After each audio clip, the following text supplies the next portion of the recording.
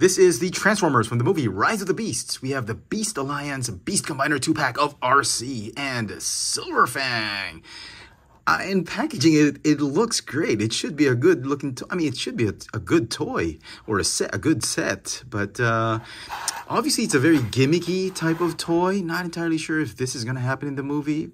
But if it did, I'm all for it. I mean, look at that. Great armored up alt mode. I mean, both figures look terrific, at least on the renders. Um, artwork right here.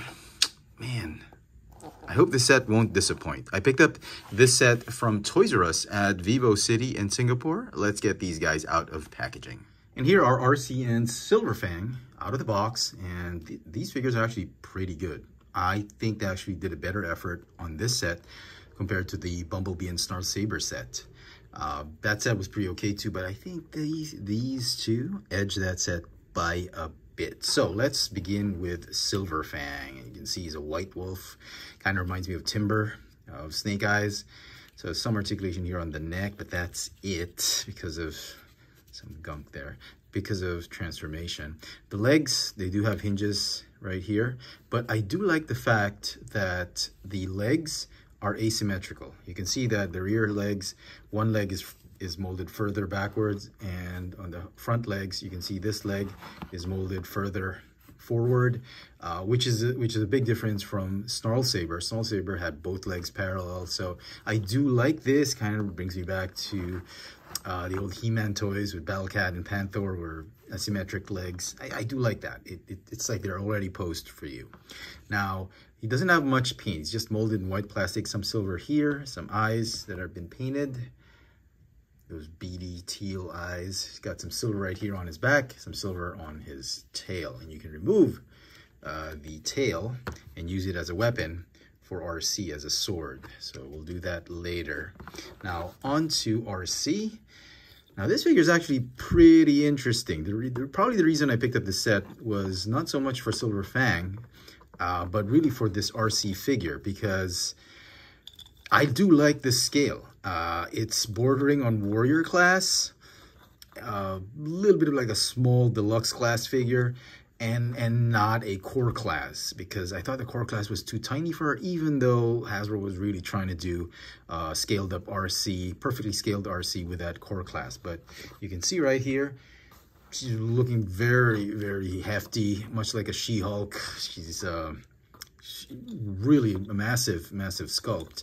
It's got some muscle. She really worked out in this mold. You can see the motorbike part right here. You can see some silver highlights here and there. Let's have a look at that head sculpt. Man, I like this sculpt. Silver face, blue eyes, white helmet. I, I like it. Um, some hollow bits and pieces on the back, but compared to the core class Arcee, the rear wheels are actually not not as as bothersome as uh, as the core class was. Articulation of the figure, she's got a ball jointed neck, she's got a ball jointed upper torso, ball jointed shoulders, ball jointed hips, She's got a thigh swivel, hinge knees, uh, mostly because of transformation. So you get a little bit more articulation on this one more than Bumblebee. Head to toe, the figure stands at about 13 centimeters tall or about 5 and 1 8 inches tall.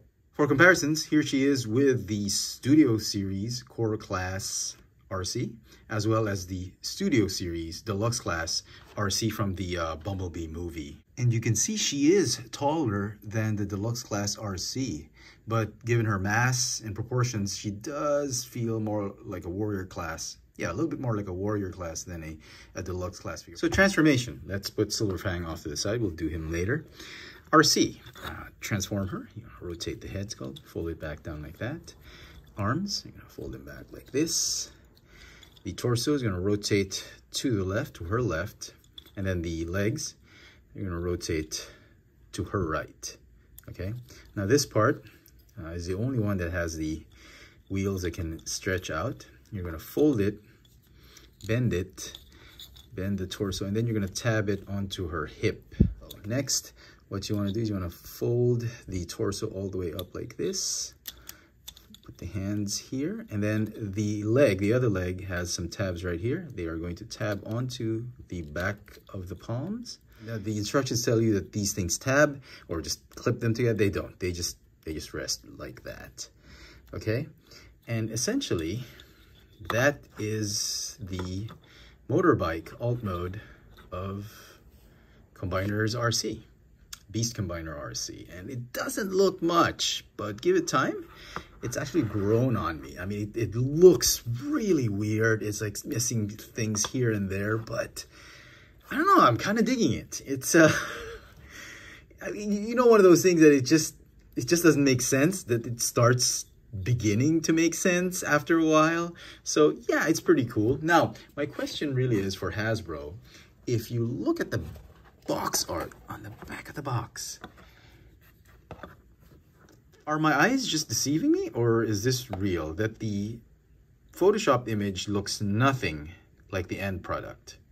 Because the instructions clearly clearly state or depict that this is the actual alt mode. It, it's correct as per the instructions. But the box art, that one looks actually pretty interesting, although it feels unfinished, but I don't know how that happened. So that must have been an earlier prototype that they took snaps of, but um, I do like the silhouette of that bike more than this one. This one just feels there's a lot of empty spaces here and there, but nevertheless, you know, it's still pretty cool. I I don't know how to explain it. I mean, it's so ugly that it looks I mean, not so ugly, but it's pretty ugly because of all these spaces and all that. But it, it, it looks pretty cool. It does roll magnificently well. I mean, look at this. It's very smooth. And it even can, it can even stand on its own. It doesn't need a kickstand. Look at that. The wheels are flat enough and wide enough. It'll allow you to stand Arcee like this. And here's the secret mode that not a lot of people have figured out. So you can unclip these hands. And as you're about to transform her into robot mode, you're gonna put, you're gonna put the, you know, untab this bit right here, okay? Don't transform her completely just yet. And then what I'd like to do is fold this up like this and fold the arms out like this. And you see where I'm going here? This is her secret mode. This is the Revenge of the Fallen Arcee robot mode, and she can stand. It does remind me so much of Revenge of the Fallen. It's pretty cool. Now, obviously, I've made it up, but I, honestly think it could have been a good secret mode. For comparisons in alt mode, here she is with the Studio Series Core Class Arcee. Now, obviously, the Core Class has the superior design in terms of aesthetic and accuracy, but terms of scale, I'm really digging this, this Combiners Arcee. Look at that. I don't know. It's really grown on me. Okay, now let's go to the combine mode, okay? You want to take out the sword. I'm to fold up the legs of Silver Fang, just like what we did with Snarl Saber. You want to just remove the the claw shield, the, the top of the head. You want to just put Silver Fang on top of her head, like that. And then this bit right here is going to untab, unpeg, and fold down, and boom! Look at that, revealing an all-new Arcee armored up head sculpt. Fold this back right here. And then the, the not the tail, the head, bottom half of the head turns into a gun. And instead of putting the shield here, you're going to put it on the other side, this. And then the sword, well, I think it's best she hold it here so it doesn't interfere with the cannon on her left shoulder. So there you go. I love the aesthetics of this one. It's like an all-white armor. Uh, it's got a fantastic blade and claw shield.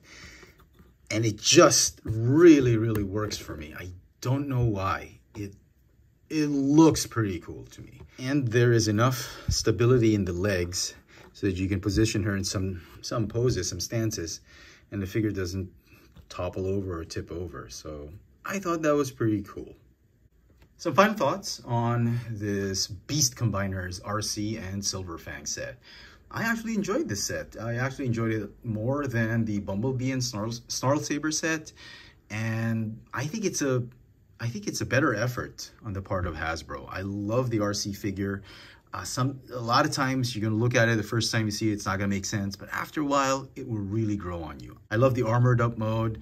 This is a pretty, pretty good, more than decent effort on the part of Hasbro. So this set is gonna get an eight out of 10. Let me know in the comment section what you guys think of this Transformers from the movie Rise of the Beasts, Beast Alliance, Beast Combiners, Arcee, and Silverfang.